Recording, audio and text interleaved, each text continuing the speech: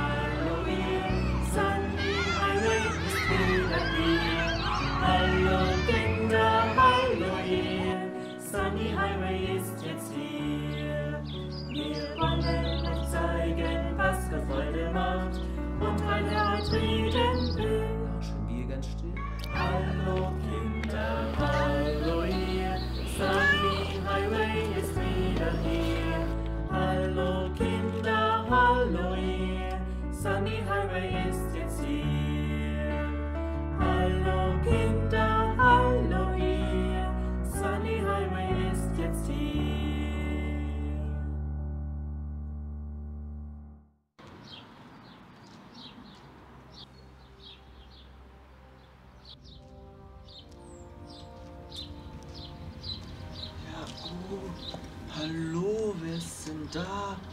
Bist du ganz alleine? Oh, Kind, du frierst ja. Willst du mit mir mitkommen? Ich bin da, um dir zu helfen. Ich kann dich an einen Ort bringen, wo du ein schönes, warmes Bett hast, warme Kleider und noch viele andere Kinder, die mit dir spielen können. Vor mir brauchst du keine Angst zu haben. Komm mit.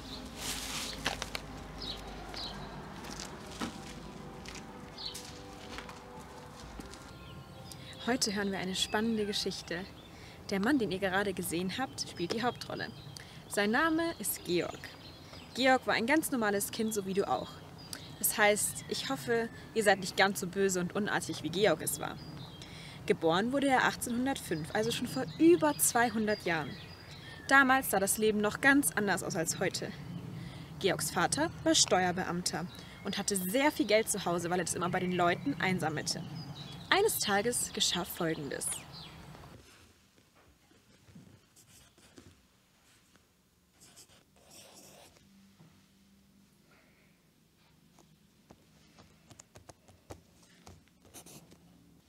Och Mann, ich habe solch einen Hunger auf Süßigkeiten. Aber ich habe mein ganzes Taschengeld erst letzte Woche bei einer Wette verloren. Hm. Mein Vater ist am Ende, anderen Ende des Hauses und war so dumm, die Truhe stehen zu lassen. Er wird es nicht merken, wenn ich ein bisschen Geld nehme.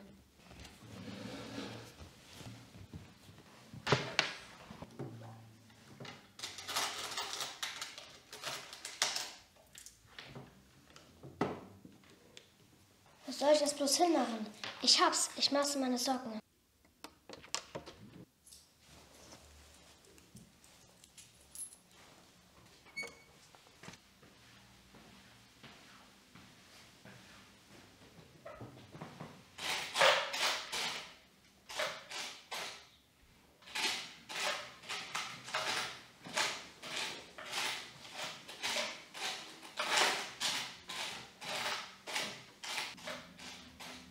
Komm sofort wieder her! Wo hast du das Geld versteckt? Ich weiß genau, dass hier vorher mehr drin war. Nein, ich habe die Truhe doch nicht mal angefasst. Zieh deine Weste aus.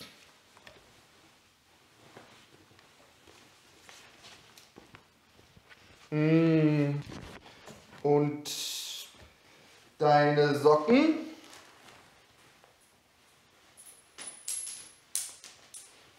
Was haben wir denn hier? Ich wusste, dass du mich bestehst. Ich habe die Truhe extra stehen lassen. Macht es ja nie wieder. Doch Georg besserte sich nicht. Auch nicht, als er schon längst erwachsen geworden war. Im Gegenteil, er trieb es immer schlimmer.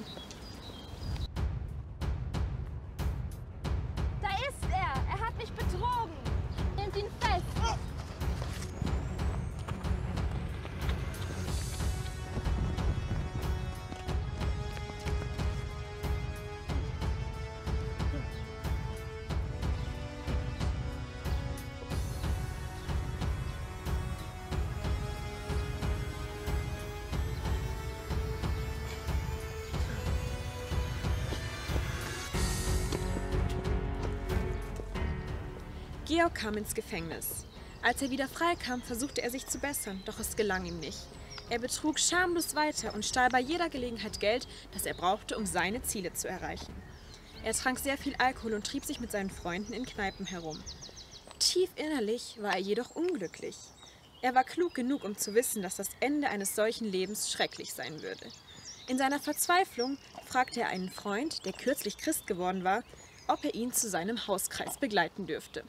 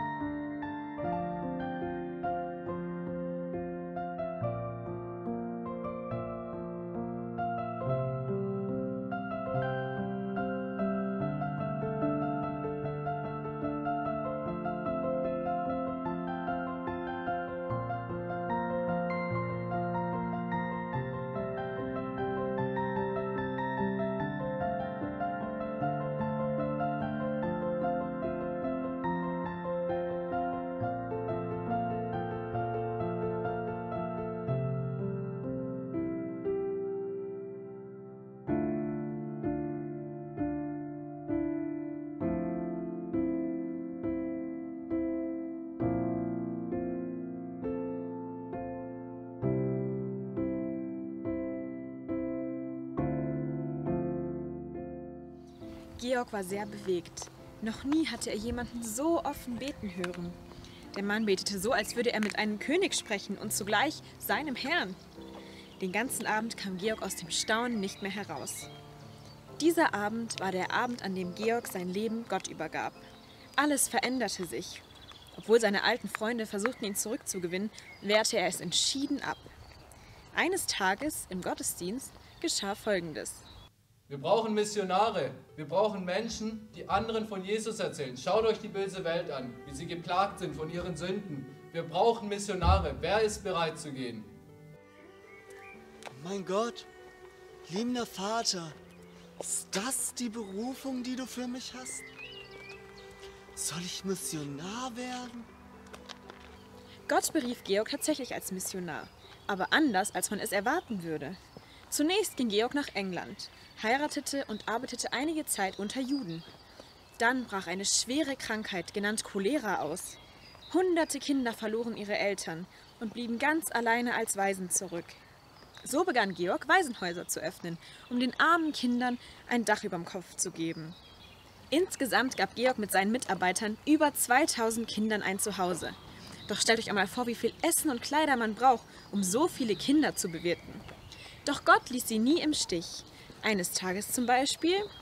Mir fehlt das Geld, um Milch für die Säuglinge zu kaufen. Was soll ich nur machen? Ich habe nur noch, nur noch Essen hier. Es fehlen nur zwei Pence, um Milch für die Säuglinge kaufen können- zu können. Aber ich kann die Kinder doch nicht hungern lassen. Ach, lass uns einfach dafür beten. Unser Vater im Himmel wird schon für uns sorgen. In Ordnung. Gütiger Gott und Vater, Herr, du siehst, dass uns nur diese zwei Pence fehlen, um Milch für die Säuglinge zu kaufen. Aber Herr, wir wissen, dass du für uns schon bereitet hast und dass wir nur dir vertrauen müssen. Hab Dank, dass du alles für uns bereithältst. Amen. Wer kann das nur sein?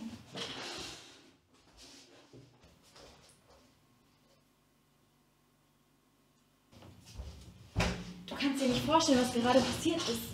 An der Tür hat eine arme Witwe geklingelt. Sie hat gesagt, sie hat noch zwei Pence übrig und die wollte sie uns schenken für die Kinder. Gelobt sei Gott. Wie gut er ist, wieso haben wir nur gezweifelt?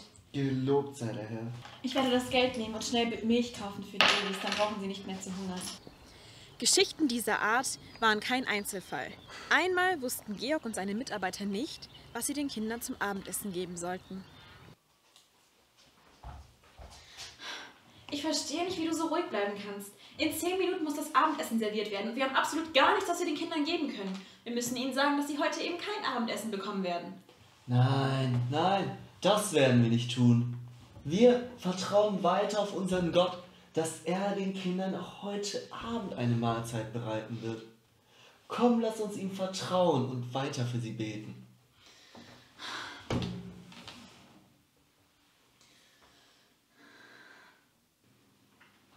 Jetzt werden die Kinder schon zum Abendessen gerufen und wir haben immer noch nichts. Vertraue auf Gott. Ich weiß, ich muss vertrauen, aber so eine Situation hatten wir wirklich noch nie und es ist zu spät. Was soll Gott jetzt noch tun?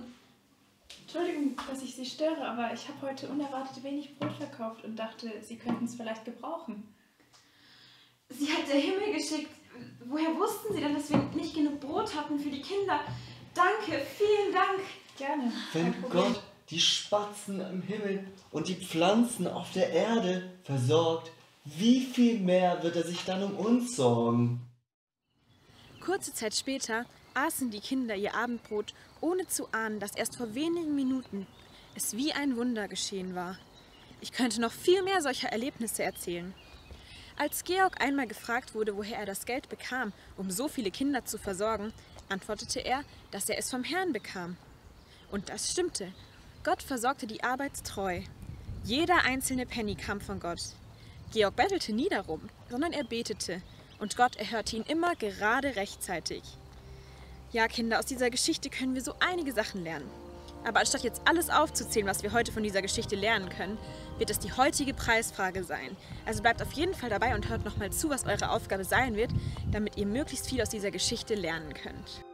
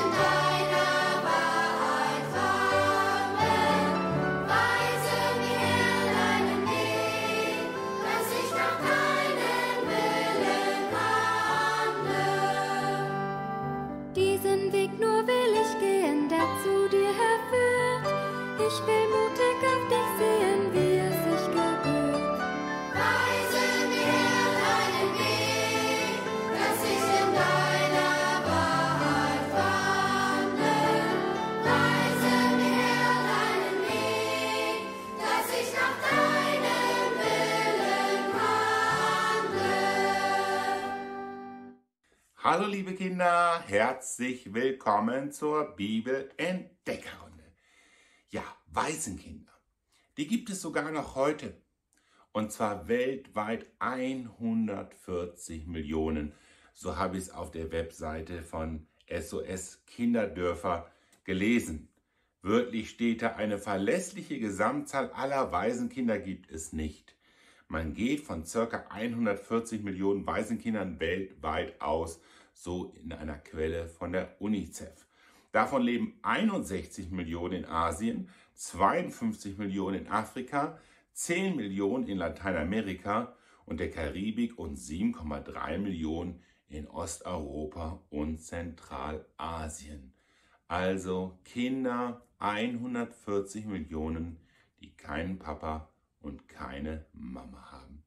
Wie wunderbar, dass Georg Müller schon zu seiner Zeit dieses großartige Werk gestartet hat und dass es zu allen Zeiten Menschen gab, die sich haben von Gott rufen lassen, um die Not in dieser Welt mit Gottes Hilfe zu lindern. Nun, heute habe ich eine besonders schwere Aufgabe für euch. Ihr sollt uns nämlich schreiben, was ihr aus dieser Geschichte gelernt habt. Ich habe zum Beispiel daraus gelernt, ich kann Gott immer vertrauen. Auch da, wo es so aussieht, dass keine Hilfe da ist, kann ich immer noch Gott vertrauen. Und ihr habt womöglich etwas anderes gelernt. Schreibt uns einfach ein oder zwei Sätze und malt dazu, wenn möglich, ein Bild und schickt es an die bekannte E-Mail-Adresse kids.sunny-highway.de und wie immer brauchen wir das bis Dienstag 18 Uhr. So, jetzt kommt aber die Preisverleihung und diesmal hoffe ich wirklich, wirklich, dass du gewinnst. Ich sage Tschüss und auf Wiedersehen. Tschüss. Hallo und herzlich willkommen zu unserer Sunny Highway Preisverleihung. Wie ihr seht, haben wir wunderschönes Wetter und ich und mein kleines Püppchen werden jetzt gleich einen Gewinner ziehen. Also, ich hoffe, dass du gewinnst. Viel Glück!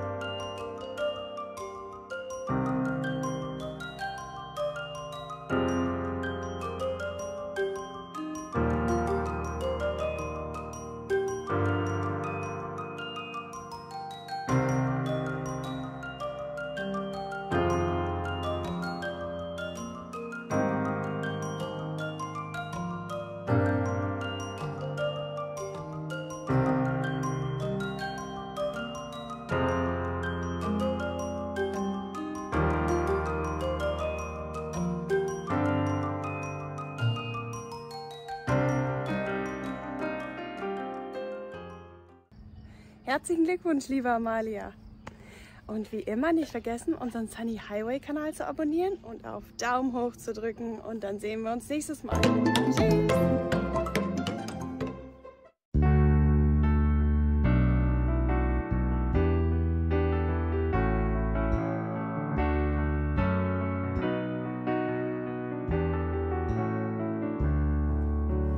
Hallo Kinder,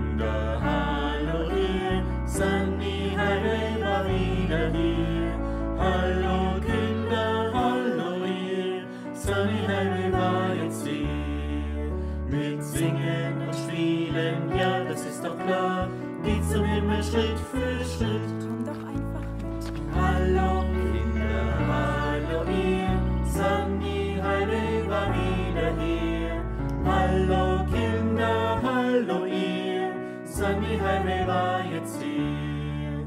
Der Heiland, der liebt uns alle, groß und klein, lasst uns darum fröhlich sein.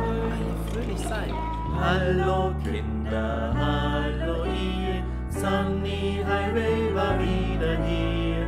Hallo Kinder, hallo ihr, Sunny Highway war jetzt hier. Hallo Kinder,